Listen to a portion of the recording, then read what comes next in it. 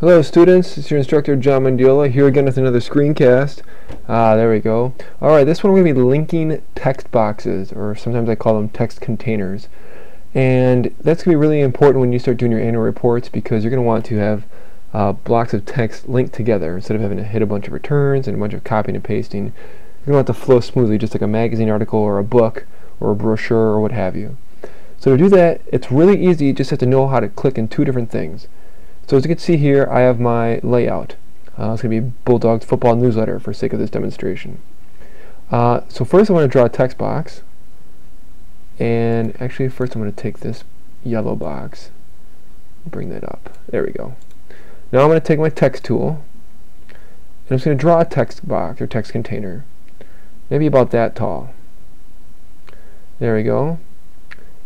And click the black arrow and click off. And now I'm going to draw one more grab my text tool again and draw another text container just like this.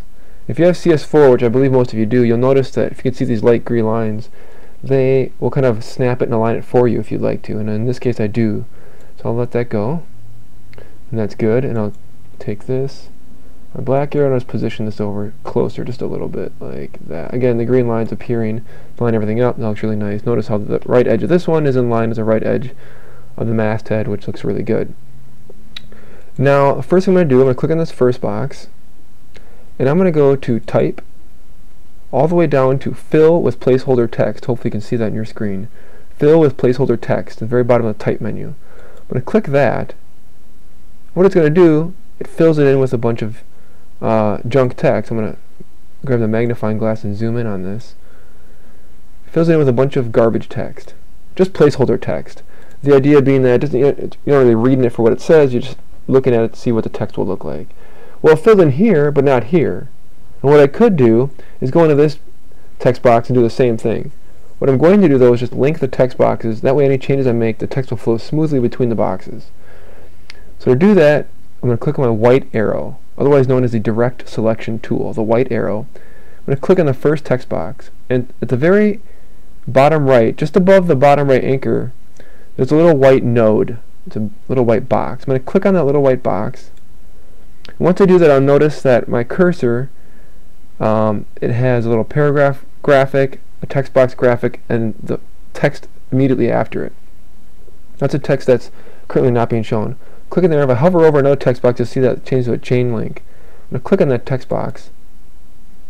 The text will link over. Now, the reason why I didn't link over is because there's no text to move over. Okay. But I'm going to go here click back inside, just inside the L, right in the beginning here, and go, again, type, fill with placeholder text, very bottom of the menu. It fills more text, and notice, bam, it shifts it all over. And again, what's nice about this, if I go here, and I delete some words here, so I delete this many words, I delete those, notice how the text in the right column jumps right as it should. Okay? It flows smoothly. Or if I go in here and I type some more, if I go in here and enter and type in last night's game, right, the football newsletter, and I style this up, maybe I make this a little bit bigger, maybe I change the font on this to something cool. Let's try something like, alright, that's cool. And I make that 24 point, there we go. Now you can see the text will flow smoothly. And again, that was white arrow. Click on it, click this arrow. Notice it has a little blue arrow because it's linking over. If for whatever reason I wanted them to not link anymore, I don't want text to flow from one text box to the other, then again I'll grab the white arrow, click on the first text box in the chain, I'd click on it, click on it again, and it would unlink that. Now when you see this red plus sign, some of you may see this when you're copying and pasting text in your documents.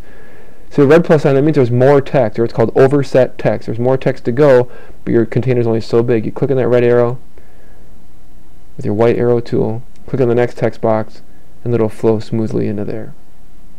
So that's all there is for that. Uh, another screencast coming up with a picture trick.